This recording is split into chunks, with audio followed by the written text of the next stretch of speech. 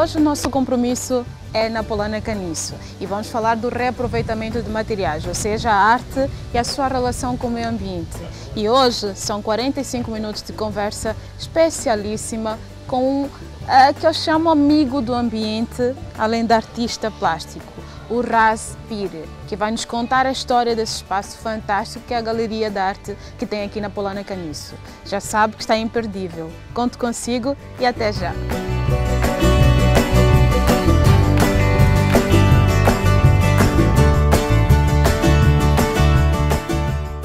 Arte de reaproveitar matérias. A arte, que envolve criatividade e comunicação através das suas diferentes linguagens, apresenta um viés com a ecologia que envolve organização sistemática e possui qualidades relacionadas entre os diversos elementos que a compõem. No século XXI, intensifica o pensamento ambiental e a reciclagem alia-se à arte com o intuito de reaproveitamento de matérias através de diferentes formas artísticas. Surge então a produção crítica e criativa amparada nas relações de equilíbrio e respeito ao meio ambiente. Artistas famosos estão utilizando matérias recicláveis para produzir obras impressionantes e, com isso, estão incentivando a reciclagem. A importância da arte utilizada com os materiais recicláveis se intensifica se fazendo presente nas diferentes manifestações artísticas, que sejam em pinturas, esculturas, arte tecnológica e até mesmo nos mais simples trabalhos feitos por artesãos. A formação de um novo pensamento ambiental beneficia-se com as novas modalidades de arte e as mesmas se apresentam como incentivo à reciclagem.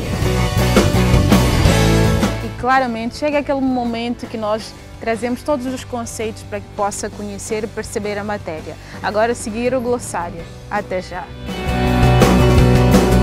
Glossário Arte. A arte é uma forma de o ser humano expressar suas emoções, sua história e sua cultura através de alguns valores estéticos, como beleza, harmonia e equilíbrio. A arte pode ser representada através de várias formas, em especial na música, na escultura, na pintura, no cinema, na dança, entre outras. Ecologia. A ecologia é a especialidade da biologia que estuda o meio ambiente e os seres que vivem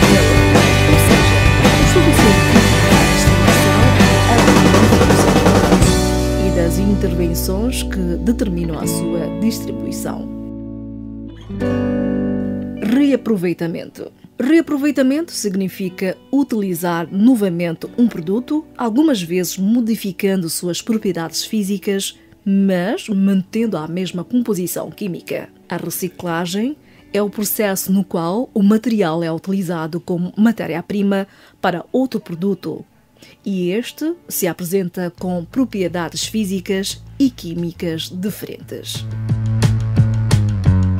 E claramente chega aquele momento em que testamos o teu conhecimento. Agora a seguir no quiz. Até já! Quiz. Sabias que todos os tipos de resíduos podem ser reaproveitados, inclusive o orgânico, podendo ser utilizado na compostagem de adubos e fertilizantes? saímos do suspense agora para conhecer a história do Raspir e principalmente para saber a relação entre o meio ambiente e a arte. Está imperdível. Até já!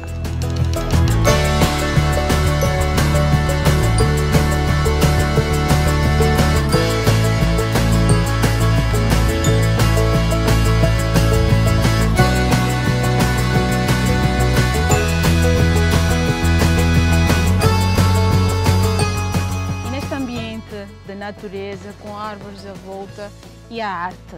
Uma combinação perfeita.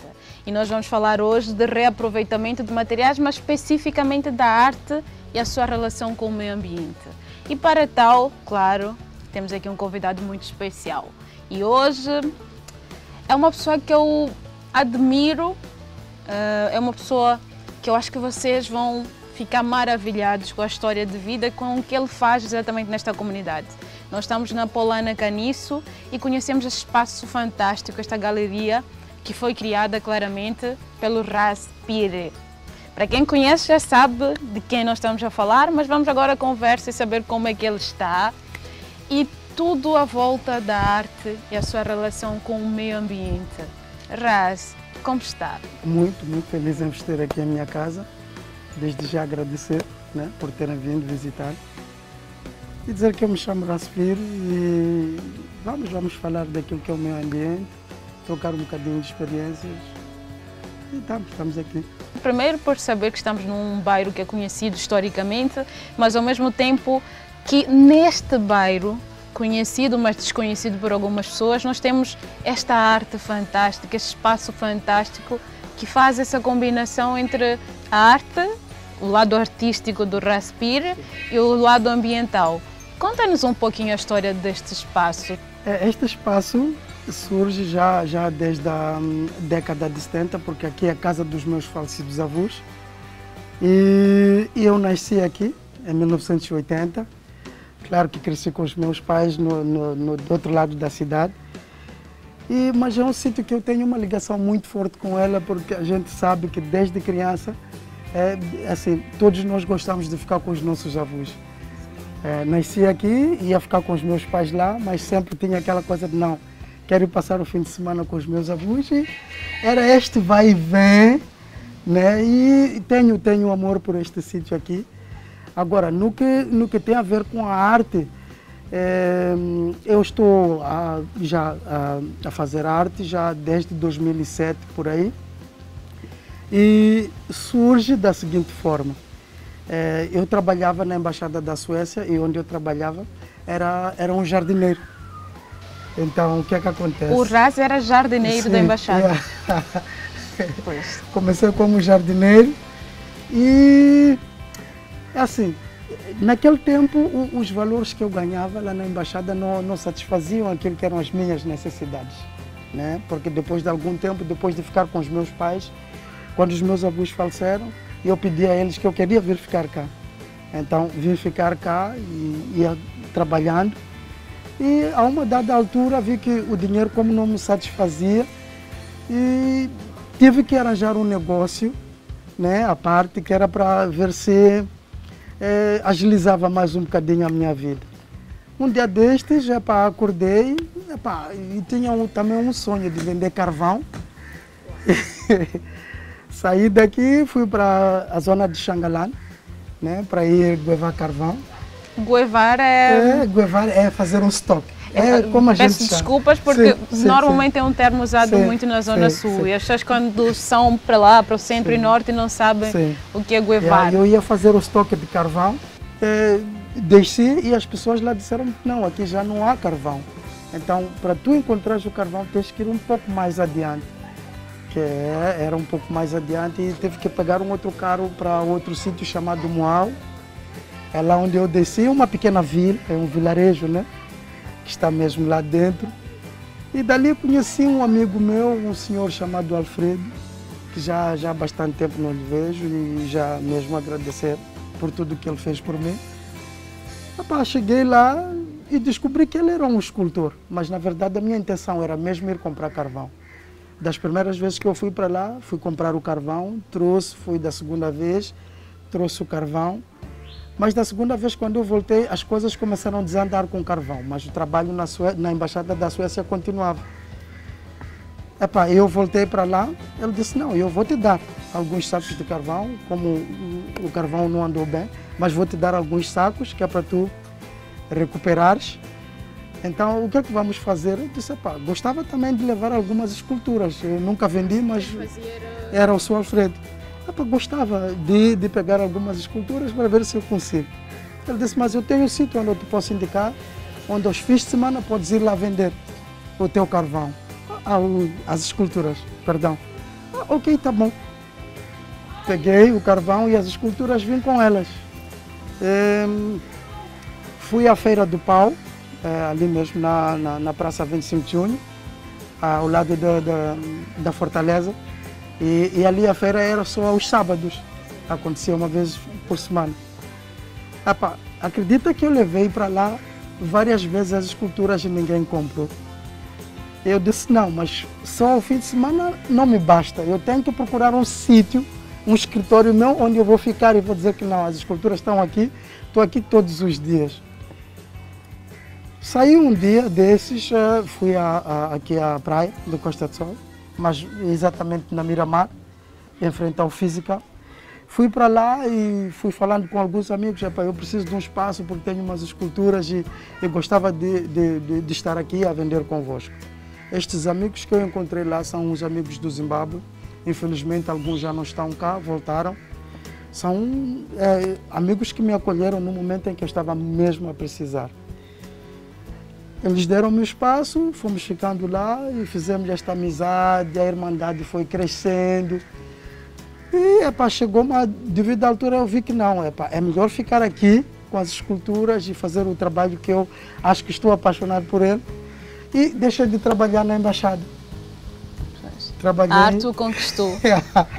e daí é, fui, fui trabalhando com as esculturas. Eu nunca esculpi, mas eu só ia mesmo buscar o produto e trazia para cá e ia vendendo. Fazia só a revenda? Sim, eu fazia só a revenda.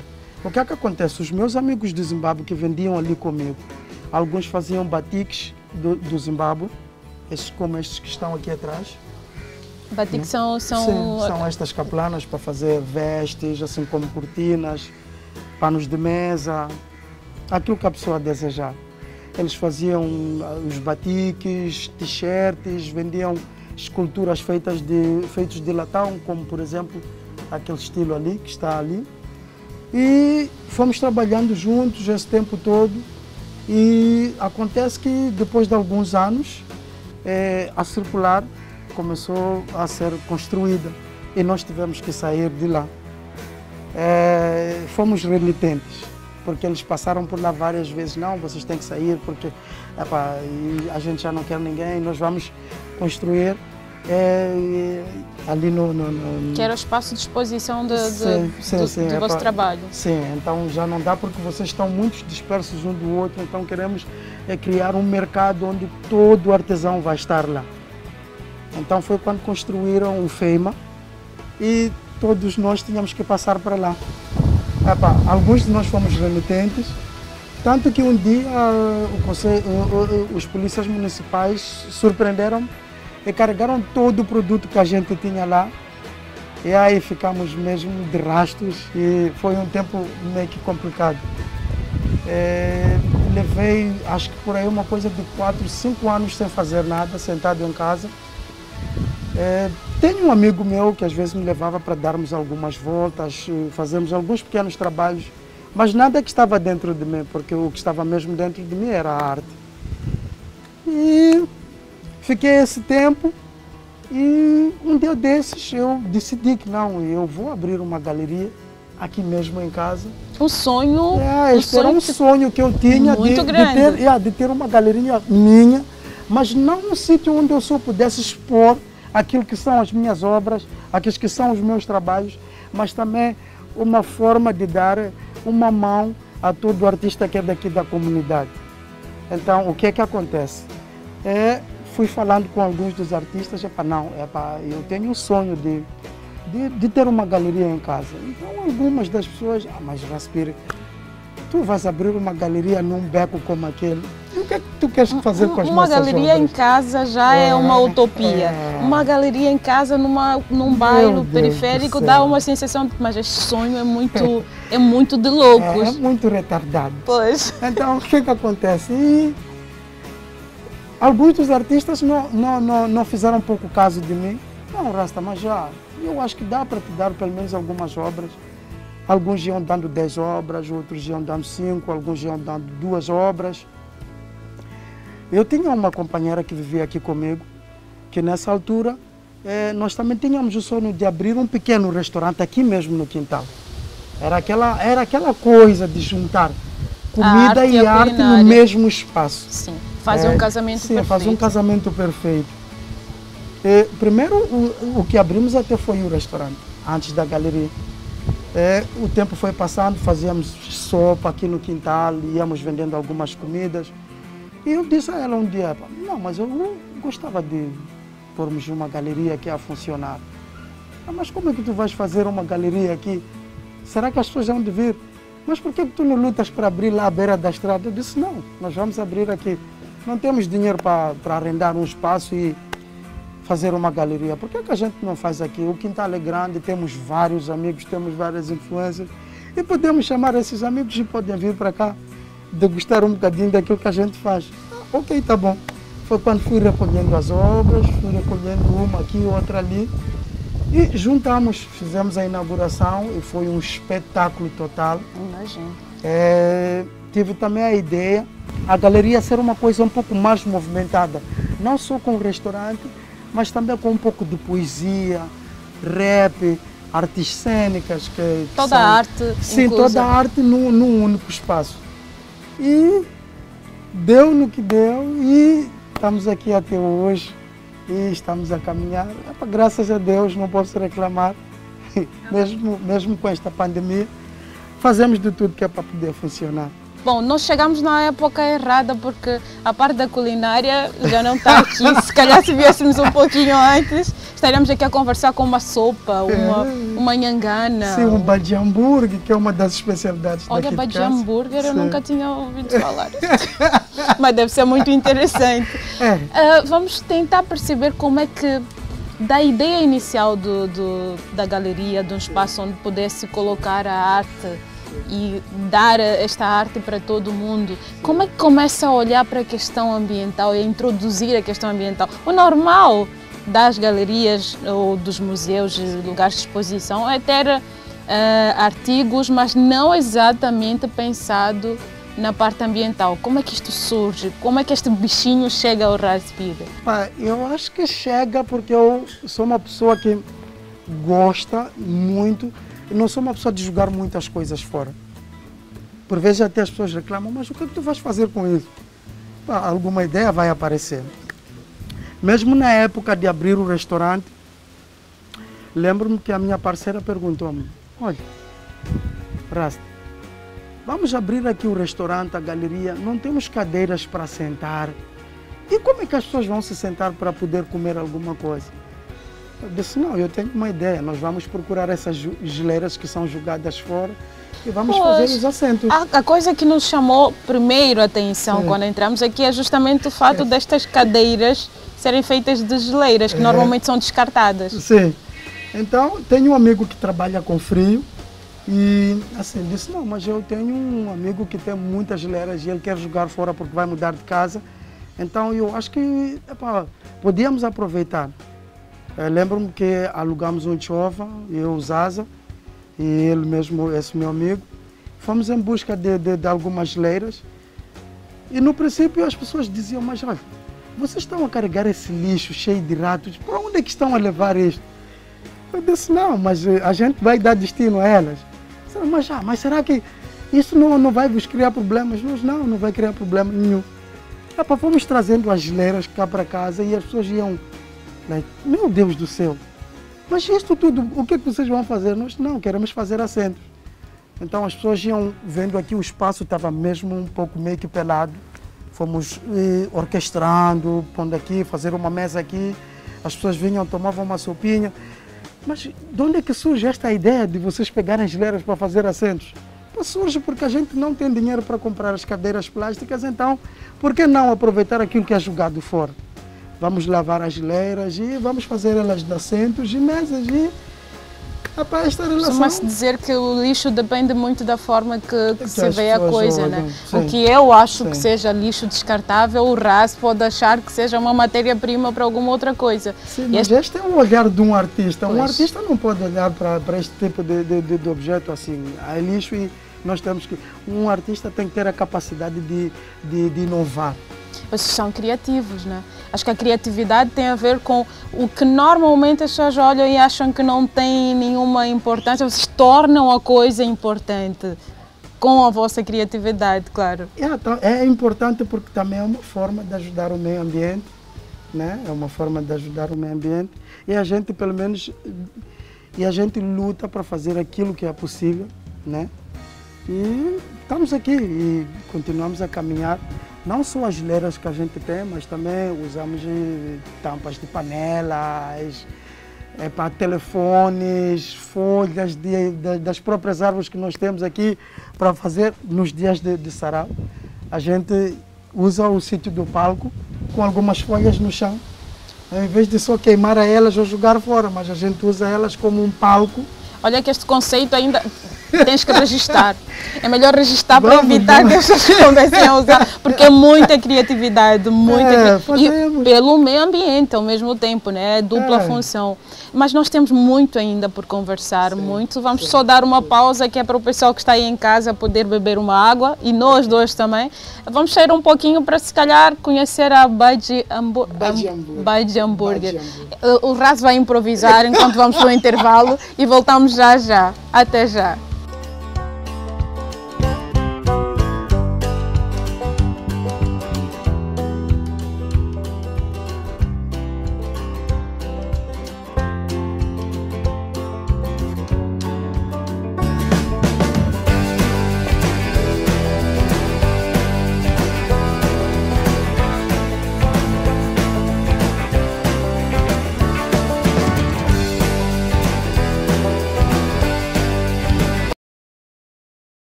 E voltamos para esta conversa fantástica que nós estamos aqui a ter com o Raspir, para conhecer um pouquinho mais a fundo e agora especificamente para a parte ambiental. Uh, sem esquecer claramente da parte social que esse projeto também abarca e é responsabilidade social de todos nós. Mas vamos entender aqui com o Raz novamente. Uh, estávamos aqui a falar Uh, para além da Baji Hambúrguer, que infelizmente o telespectador lá em casa não pode provar, eu provei e aprovei. além disso, estamos a falar da parte ambiental. Sim. E voltando sempre até para, para repisar, uh, quando, em que momento entra este bichinho ambiental uh, no RAS, Uh, sem contar, sem olhar ainda para esta coisa da, da, galeria, de tornar isto visível, quando, em que momento nasceu com este bichinho ambiental? Em que momento ele surge e aparece? É claro que quando a gente ainda é criança, nós já temos a, a, aquela coisa na cabeça de um pneu, nós não podemos jogar ele fora, temos que empurrar o pneu. Às vezes tu encontras uma janta, tens um caniço, arames que às vezes são jogados fora. Eu acho que este bichinho nasce conosco, né? Mas já sempre, desde pequenininho, quando visse sim. alguma coisa, já pensava em reaproveitar, porque uma coisa é olhar para a oportunidade que teve na arte já adulto. Mas se lembra de, de um passado em que pensava, reaproveitava materiais? De criança não, mas quando eu abri a galeria, porque também foi aquela coisa de ter muitos amigos que são artistas plásticos e a maior parte deles trabalham também com reciclagem. Então fui vendo, ah, ok, mas e se eu posso levar eh, este objeto e aquele e fazer alguma coisa de útil Epá, e trazer aqui para a galeria, eu acho que eh, pode, pode casar muito bem. Então eu acho que este bichinho, ele já, já nasceu comigo, mas desenvolveu-se mais na medida em que fui crescendo e, e me tornei num, num artista. Como é que acha que o trabalho que tem estado aqui a fazer contribui eh, de forma positiva para o meio ambiente? É para contribuir, para, eu acho que contribui de forma positiva para o meio ambiente, porque por vezes já temos eh, feito campanhas de limpeza aqui no bairro, né? É, esse é um dos trabalhos também que nós temos feito, é, em conexão com uma equipe daqui do bairro chamada Favela Unite eu me lembro de, de, ter vindo aqui para fazer uma campanha convosco, sim, com, sim, com os que meninos. É a recolha dos plásticos. Sim, sim, Mas também aqui mesmo na galeria tem havido workshops eh, que falam sobre a reciclagem. Então, por vezes, o, o pessoal que vem cá fazer os workshops primeiro sai que é para recolher os plásticos, os caixotes que são jogados fora, as latas, eh, e outras várias coisas, né? que é para limpar o ambiente, mas também aproveitar e fazer alguma coisa de útil com este, que é, que é o famoso lixo que as pessoas chamam, que na verdade não é lixo e se pode transformar em alguma coisa que também nos pode fazer ganhar algum dinheiro. Não só, mas também uma forma de consciencializar as pessoas que é para o lixo não é lixo, na verdade. Pois, pois, pois. Sim. Com certeza. É. O que é que nós temos aqui de, de material em termos de reaproveitamento? Primeiro, Como é que este material chega até, até o raso, até a galeria? Sim. É, algum algum do, do, dos materiais que nós temos aqui, que são, por exemplo, os vasos que nós fazemos com cimento e toalha, é, alguns artistas daqui do bairro é que fazem. Na maior parte das obras são feitas assim, né? Porque nós havíamos pensado só nós ocuparmos a galeria, mas vimos que não. Ocuparmos só nós os donos da galeria também não fica bem.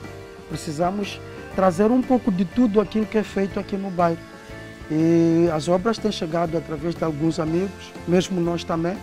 Costumamos sair para recolher eh, algum, algum material que vem de, de algumas árvores que a gente faz candelabros, é, é, tampas de panelas, as próprias folhas, várias outras coisas que a gente tem aqui.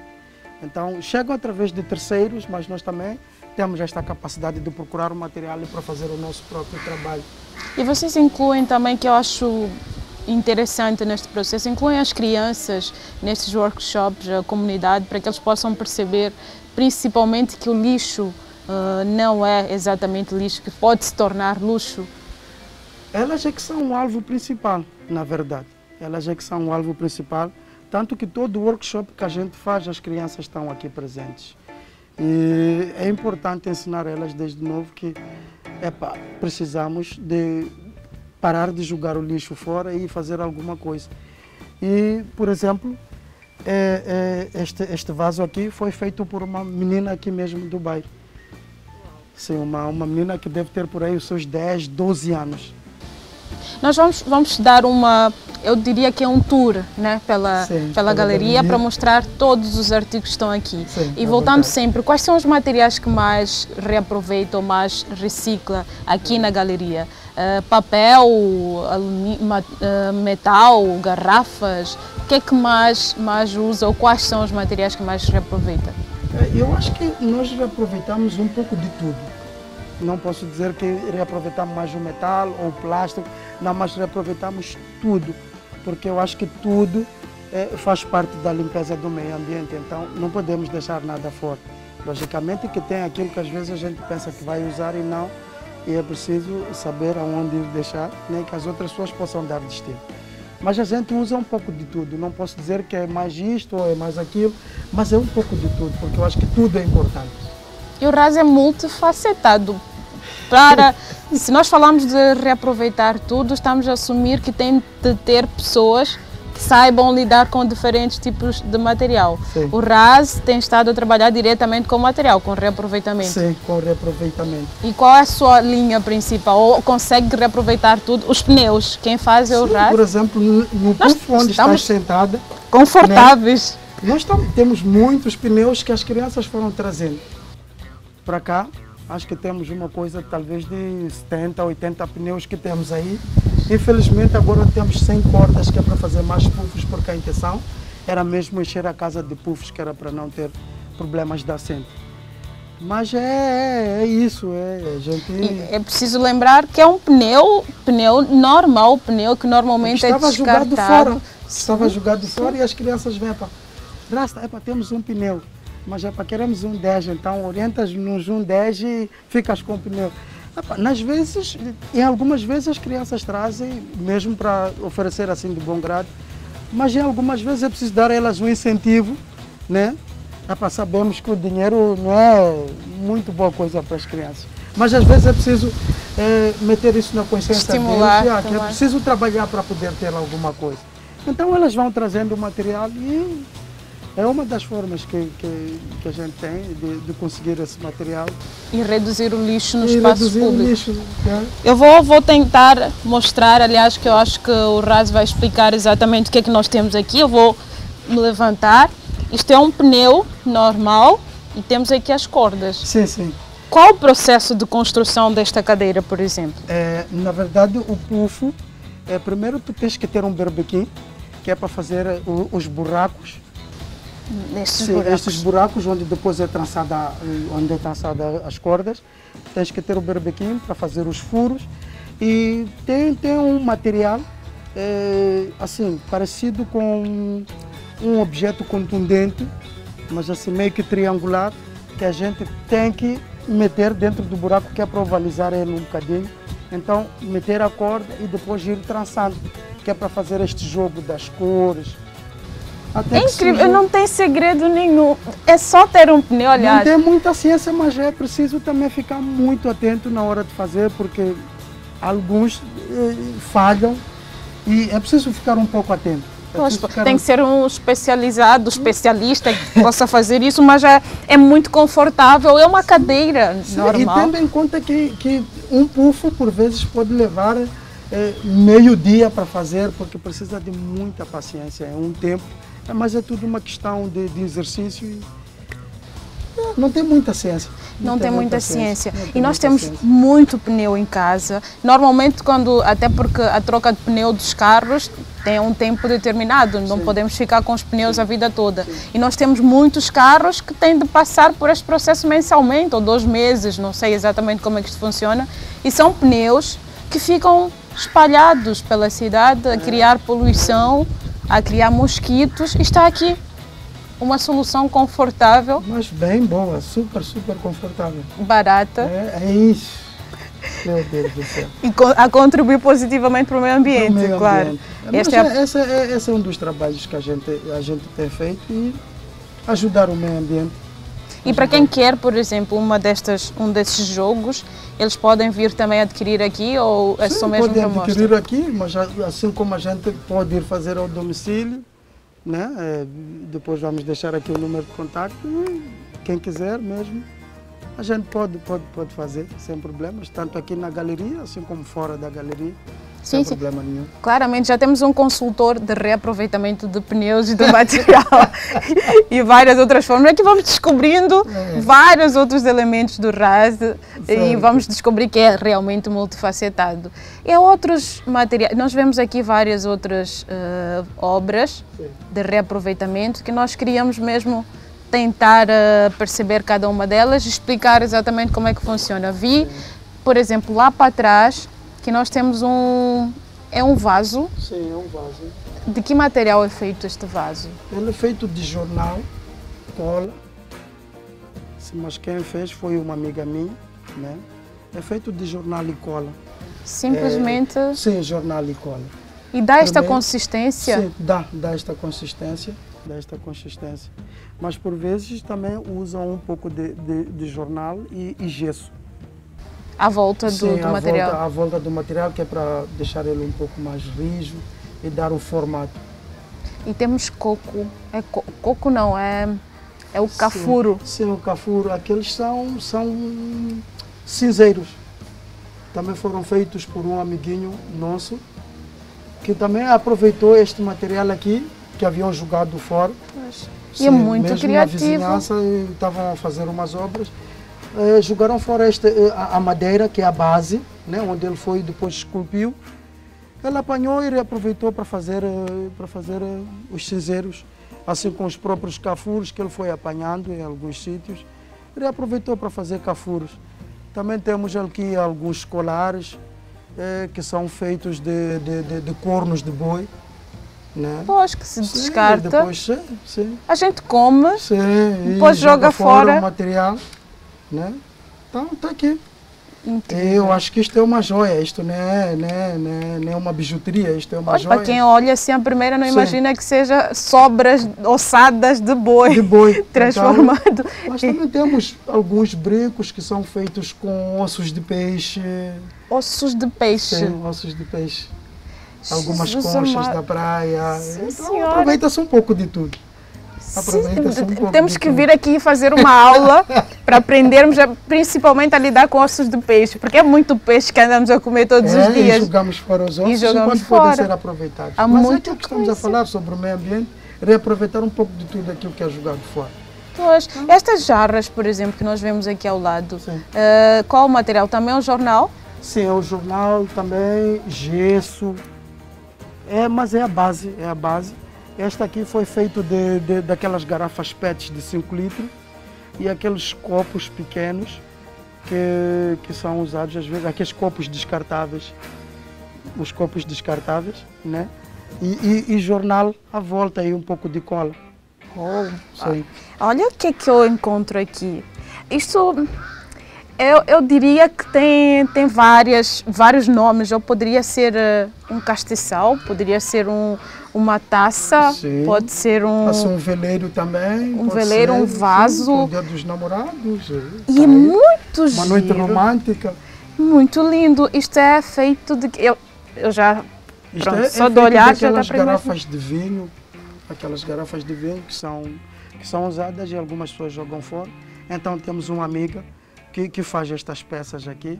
Então, por vezes, deixa algumas das peças conosco cá na galeria para tentar revender e promover mais um bocadinho o trabalho dela. É muito, mas é muito giro mesmo, ah, muito lindo. É uma taça também. E normalmente nós vamos à loja e compramos a preços altíssimos isto Sim. em garrafa e pode-se fazer facilmente. Sim. Esta é a parte do topo da garrafa, da normalmente. Garrafa, corta-se. E ela usou esta parte mesmo, do, esta parte dali do gargalho, do, do gargalho que era para fazer a base. Então não se jogou nada fora, é tudo a mesma coisa. É incrível. É, é, há um ditado que, que todos nós conhecemos que na natureza tudo se transforma. E realmente estar aqui nesse espaço, nós temos a certeza que lixo. Não é lixo. É matéria-prima. e está aqui e temos mais coisas de certeza que nós Sim, queremos aqui temos, descobrir. Temos várias uh, coisas. Mas em, em, termos de feedback, uh, não só da comunidade, das pessoas que visitam esse espaço, eles gostam, primeiro gostam e respondem de forma positiva a esta parte ambiental. O que é que têm uh, ouvido lá das pessoas?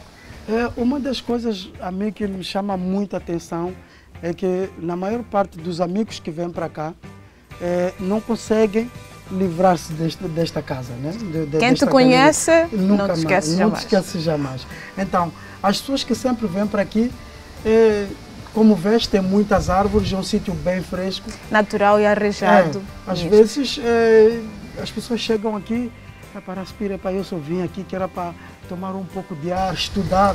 Posso ficar aqui? Fique à vontade, a casa está aberta para todos. E e as pessoas têm aquela coisa de, pá, eh, eu saio daqui, mas te, podes ter a certeza que eu hei de voltar, porque tem uma amiga nossa que chama a Galeria do Santuário. É, dá esta sensação. chama mesmo esse espaço do santuário, porque é um sítio onde as pessoas chegam e dizem não, esta, esta casa me transmite uma paz que tu não estás a imaginar e gosto de estar aqui. Eu acho que eu me mudo para cá. Olha Dá uma a casa sensação. é grande, a casa é grande, tem, tem, temos uma casa com um quarto e sala, temos esta maior, que tem três quartos e sala, então se quiseres vir te albergar cá, é pá. Acho que não vai, não, não vai caber tanta gente. Acho que as pessoas vão querer todas vir para cá porque é realmente este conforto. É. A natureza dá este conforto e estas sim, árvores dão esta sim, sensação sim, de natureza, leveza. Falta-nos aqui uma rede para dormir, uma esteira, porque acho que as pessoas. que nós vamos arranjar com os Zaza até costumamos já, eh, o Zaza é o gestor cá da galeria, costumamos às vezes, eh, porque temos tendas aqui dentro, e por vezes já ficamos, ah, hoje não, não vamos fechar a galeria e vamos pôr as tendas aqui fora e descansamos cá. E pernoitamos aqui, jogamos conversa fora, fazemos uma lareira. Nada melhor que isso. Ai, estou, estou só a imaginar esta parte da lareira, de, do luar, silêncio, natureza. É confortabilíssimo, é, é natureza. É, é, é, estar na Polana Caniço, mas estar na natureza ao mesmo tempo. Sim, olha que tem muita gente, por vezes, mesmo daqui da comunidade, que passa, o portão está aberto, dão 5, 10 passos e voltam. Meu Deus do céu, que espaço é este? Não é, é uma galeria. Mas como é que vocês tiveram a coragem de fazer uma galeria aqui no meio do nada? Meio do nada não, é, é, é o espaço está aqui. Então se a gente está aqui é porque estamos, é, é o nada, não no meio do, de uma coisa que não, não tem nada a ver, mas é, é o espaço e criamos aqui, que é para fazer as pessoas também perceberem mais um bocadinho daquilo que, que, que a gente pode ter e ainda bem, o diferencial, ainda bem que é pensado no meio ambiente. Respira, nós queríamos ficar aqui o dia todo a conversar, mas infelizmente chega aquela hora que nós temos que dizer vamos embora, bye bye. Quero agradecer. Dizem que é bom dura pouco. Pois é, pois é, é, mas dura pouco e é intenso né? e faz muito sim, bem à alma. Sim. Quero agradecer eh, pela oportunidade, por ter aberto as portas para nós e claramente voltaremos aqui quando estivermos com a parte culinária já a funcionar, fazemos questão de vir e provar com todo o telespectador lá de casa. Não, tranquilo, sejam bem-vindos, a casa está aberta, sempre que quiserem vir para cá visitar.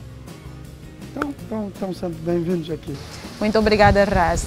Já sabem que o nosso compromisso é sempre, sempre, para a próxima semana, falar do meio ambiente, como sempre.